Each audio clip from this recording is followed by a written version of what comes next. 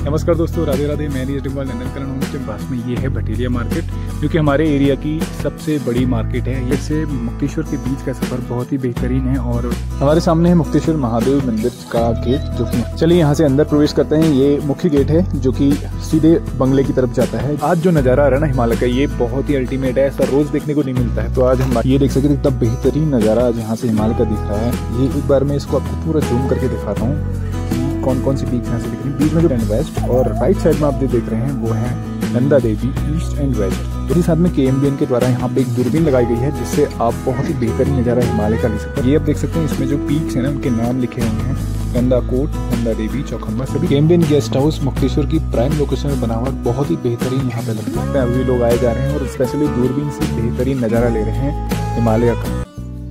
नमस्कार दोस्तों, राधे राधे, मैं नीज डाल नंदनकरण होम स्टे मुक्तेश्वर से आप सभी का हार्दिक स्वागत करता हूँ अपने YouTube channel Nandankaran home stay में। तो आज एक्चुअली मैं जा रहा हूँ यहाँ से मुक्तेश्वर, महादेव मंदिर के पास में इंस्पेक्शन बंगलो से हिमालय व्यू पॉइंट या पीडब्ल्यू गेस्ट हाउस या फिर केम्बियन गेस्ट हाउस बोलते हैं और बहुत ही सुंदर रमणीक स्थान है जहाँ से हिमालय का पूरा वन डिग्री रेंज देख सकते हैं। और जैसे कि अभी जो है नवंबर का मंथ चल रहा है, नवंबर मिड हो चुका है तो अभी जो है हिमालय की विजिबिलिटी बिल्कुल क्लियर होती है और स्काई भी आप बिल्कुल क्रिस्टल क्लियर ब्लू स्काई देख सकते हैं। तो ऐसे में वन डिग्री रेंज पूरी यहाँ से आप नज़ारा ले सकते हैं। तो चलिए आपको भी दीदार कराते हैं आज पूरी वन डिग्री रेंज का, जो कि मुक्तेश्वर इंस्पेक्शन से दिखाई जाती है। तो चलिए चलते हैं अब भी चलिए मेरे साथ में।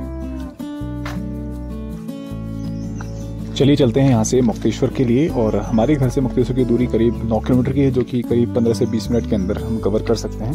तो ये हमारे जंगल वाला रास्ता है, जो कि हमारा प्राइवेट प्रोटेक्टेड फॉरेस्ट है और करीब 100 मीटर की दूरी है हमारे घर से रोड की, जहाँ पे हमारी गाड़ी पार्क रहती है। हरे भरे जंगलों के बीच से गुजरते हुए हम लोग जा रहे हैं मुक्तेश्वर के लिए और जस्ट हम लोग पहुँचने वाले हैं भटेलिया मार्केट के पास में। ये है भटेलिया मार्केट जो कि हमारे एरिया की सबसे बड़ी मार्केट है। ये यहाँ का सेंटर पॉइंट कह सकते हैं। यहाँ पे आपको बेसिक ज़रूरत का सारा सामान यहाँ पे मिल जाता है। तो यहाँ पर से करीब छः किलोमीटर की डिस्टेंस रह जाती है मुक्तेश्वर की। तो मुश्किल से 10 से 15 मिनट हमें यहाँ से मुक्तेश्वर पहुँचने में लगेंगे। और यहाँ पर से मुक्तेश्वर के लिए जा सकते हैं, भीमताल के लिए जा सकते हैं, हल्द्वानी के लिए जा सकते हैं। तो अलग अलग एक जंक्शन पॉइंट है यहाँ पे। तो यहाँ से हम लोग जो ऊपर के रास्ता जा रहा है, इससे चलते हुए हम लोग आगे बढ़ रहे हैं मुक्तेश्वर के लिए।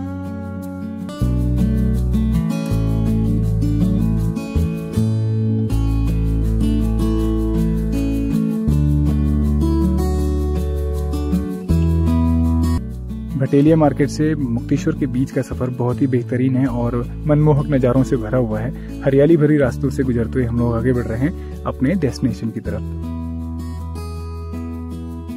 तो करीब 20 मिनट चलने के बाद हम लोग जस्ट पहुँचने वाले हैं मुक्तेश्वर मंदिर के पास में। ये आप देख सकते हैं जहाँ पे कार खड़ी है। यहीं पे मेरे लेफ़्ट में ये मुक्तेश्वर महादेव मंदिर का गेट है और यहीं से कुछ 200 मीटर की दूरी पे है हिमालय व्यू पॉइंट। तो यहीं पार्किंग पॉइंट है, यहीं पे अपनी कार को हम पार्क कर लेते हैं और फिर यहीं से पैदल चल करके हम जाएँगे आगे तक। ये मुक्तेश्वर का मेन पार्किंग एरिया है। यहाँ से आगे अगर गाड़ी ले जाते हैं तो पार्किंग की बहुत बड़ी दिक्कत आती है, इसलिए यहीं पे पार्क कर लेना बेटर है। तो इस एरिया में पार्क करके हम लोग यहाँ से आगे चलते हैं। हमारे सामने है मुक्तेश्वर महादेव मंदिर का गेट, जो कि यहाँ का मुख्य आकर्षण है। यहीं पर से करीब 60-70 सीढ़ी चढ़ करके मुक्तेश्वर महादेव मंदिर तक जाया जाता है और यहीं से करीब 200 मीटर की दूरी पर है inspection bungalow Himalaya view point, जहाँ पे हम लोग अभी जा रहे हैं। मुक्तेश्वर शहर की समुद्र तल से ऊंचाई पिछहत्तर फीट है मतलब साढ़े सात हज़ार फीट की हाइट पे मुक्तेश्वर बसा हुआ है। मुक्तेश्वर महादेव मंदिर के पास में गाड़ी पार्क करने के बाद हम लोग आगे जा रहे हैं। पैदल पैदल चल करके करीब 200 मीटर की दूरी है जो हमें कवर करनी है। और ये हम लोग पहुँच चुके हैं फाइनली गेट के पास में, जहाँ पे इंस्पेक्शन बन हुआ है। राइट साइड में इंस्पेक्शन बन हुआ गेट है और यहीं पे टिकट काउंटर है, जहाँ से टिकट लेकर के एंट्री मिलती है। यहाँ से करीब सिक्सटी रुपी पर पर्सन का टिकट है पर एडल्ट का। और आप एक बार टिकट लेकर के अपना विज़िट कर सकते हैं अंदर और जितना आप देर आप रुकना चाहते हैं, उतनी देर रुक करके यहाँ पे आनंद ले सकते हैं।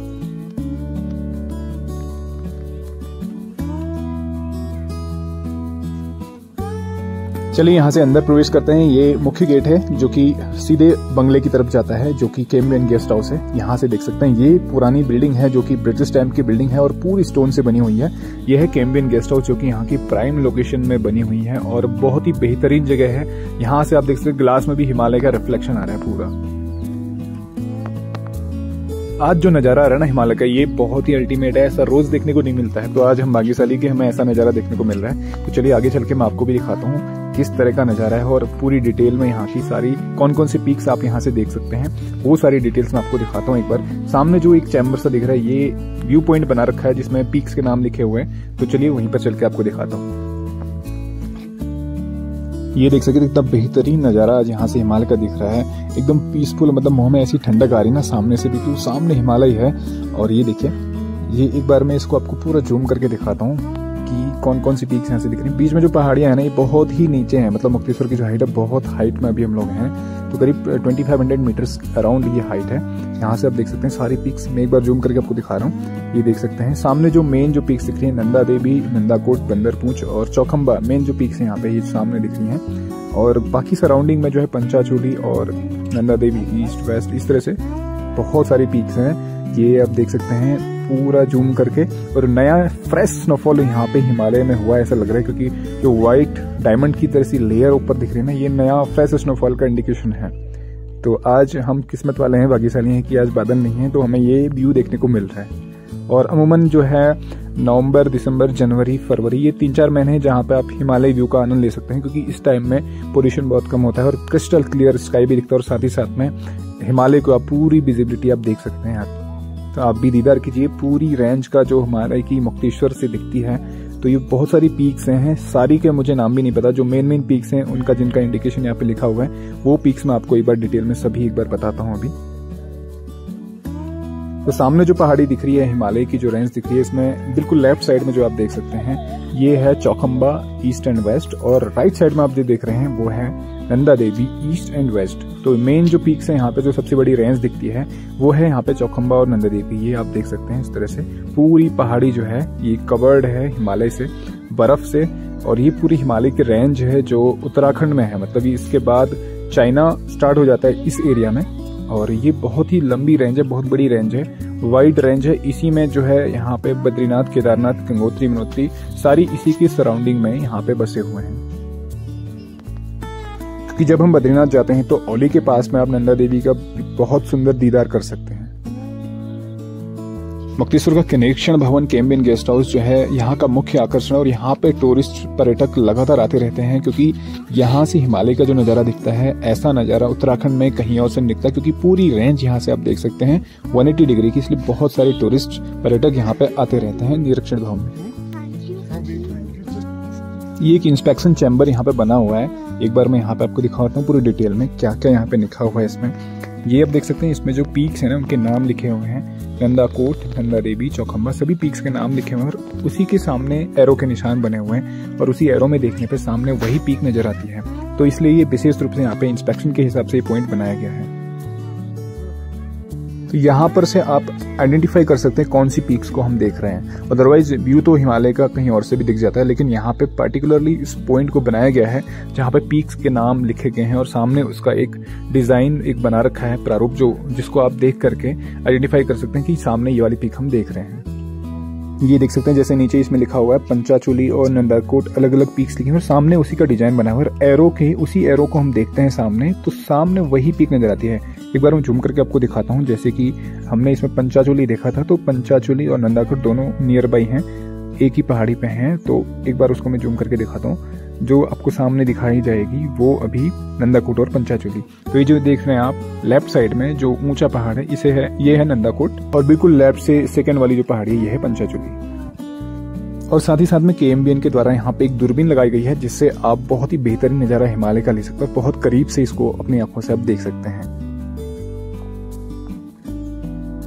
दूरबीन से देखने पे बिल्कुल सामने वो पहाड़ी दिखती है, ऐसा लगता है कि नया फ्रेश स्नोफॉल इसमें हुआ है और एकदम साफ़ क्लियर आप इसको देख सकते हैं। इस तरह से ये देख सकते हैं, सामने जो दूरबीन से नज़ारा आएगा, बहुत ही बेहतरीन नज़ारा आता है। अगर आप दूरबीन से देखते हैं तो आपको इस तरह का नज़ारा कुछ देखने को मिलेगा, जिसमें आप पार्टिकुलरली हर पीक को एक एक करके बारीकी से देख सकते हैं, और पीक्स में नया स्नोफॉल हुआ है, वो भी आप देख सकते हैं, और उसको और आगे आप जूम करके भी देख सकते हैं। तो दूरबीन जो लगी हुई है हाई इंटेंसिटी वाली है, बहुत दूर तक आपको दिखा सकती है और आप अपने हिसाब से इसको एडजस्ट भी कर सकते हैं राइट एंड लेफ़्ट और ऊपर नीचे जो भी आपको देखना हो, उसके हिसाब से अकॉर्डिंगली आप उसको एडजस्ट कर सकते हैं। हिमालय व्यू के अलावा इस पॉइंट से शाम को आप बेहतरीन सनसेट का भी आनंद ले सकते हैं और जब भी आप यहाँ पे शाम को आते हैं तो बहुत ही बेहतरीन, एकदम गोल्डन सनसेट आप यहाँ से देख सकते हैं, क्योंकि बहुत हाइट पर ये पॉइंट है। केम्बियन गेस्ट हाउस का जो बंगला है, वो अपने आप में बहुत ही बेहतरीन लोकेशन में बना हुआ है। तो चारों तरफ़ देवदार के पेड़ों के बीच में ये बसा हुआ है और अपने आप में बहुत ही बेहतरीन नज़ारे यहाँ पे देखने को मिलते हैं। बहुत ही शांति प्रिय स्थान है। यहाँ पे बैठ करके, घंटों बैठ करके आप आनंद ले सकते हैं इन नज़ारों का।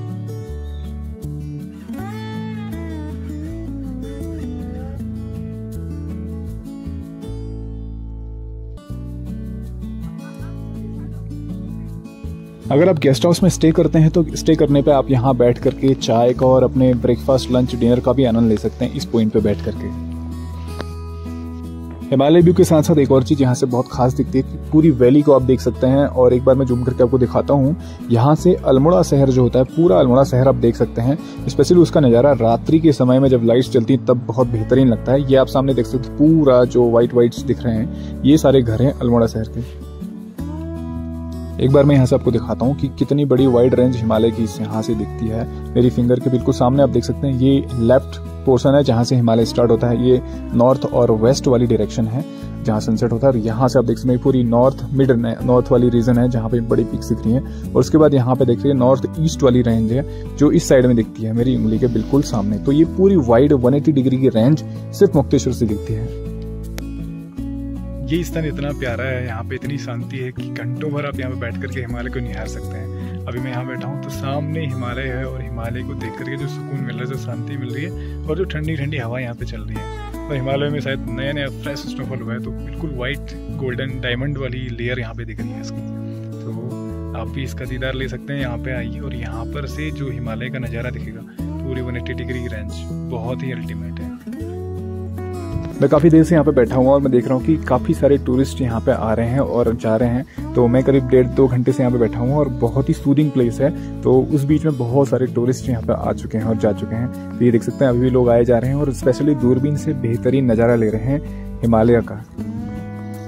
तो चलिए वापस चलते हैं यहाँ से अपने घर के लिए। तो ये गैलरी है जो एंट्री एंड एग्जिट पॉइंट है यहाँ से। हालाँकि मैं आते समय जो आया था मेन गेट से आया था बट यहाँ से ये एंट्री एग्जिट इसी गेट से होती है। वहाँ से अलाउड नहीं है हर किसी को।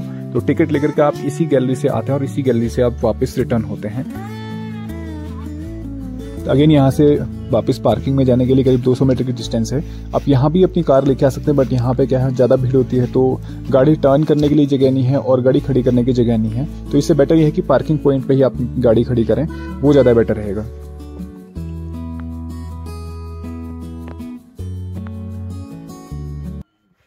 फाइनली पूरा विज़िट करने के बाद हम लोग वापस आ रहे हैं अपनी टैक्सी स्टैंड पे और ये सामने देख सकते हैं व्हाइट कलर में हमारी नेक्सॉन खड़ी है। तो अब यहाँ से बोर्ड होकर के हम लोग यहाँ से चलेंगे वापस अपने घर के लिए।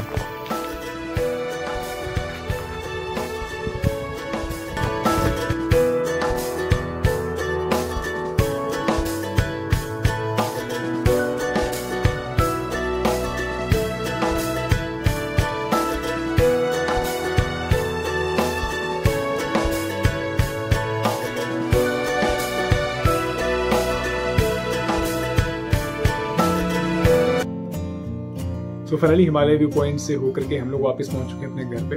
तो हिमालय व्यू पॉइंट जो है यहाँ का मुख्य आकर्षण है, मुक्तेश्वर का एक मुख्य केंद्र बिंदु है यहाँ का, क्योंकि यहाँ से हिमालय की जो 180 डिग्री की रेंज दिखती है, वो बहुत ही अल्टीमेट है। पूरे उत्तराखंड में इतनी बड़ी रेंज कहीं से दिखती है। तो उम्मीद करता हूँ आपको ये ब्लॉग पसंद आया होगा। ब्लॉग पसंद आए प्लीज़ को लाइक कीजिए शेयर कीजिए और कमेंट कीजिए। यदि आप चैनल में नए हैं तो प्लीज़ चैनल को सब्सक्राइब कीजिए और बेल आइकन प्रेस कीजिए। बेल आइकन प्रेस करना भूलिए ताकि कोई भी हमारा नया ब्लॉग होता है तो नोटिफिकेशन के माध्यम से आपको मिल जाएगा। तो हमेशा से हमारे साथ ऐसे बने रहने के लिए आपका बहुत बहुत धन्यवाद। मिलते हैं नए ब्लॉग में। तब तक के लिए राधे राधे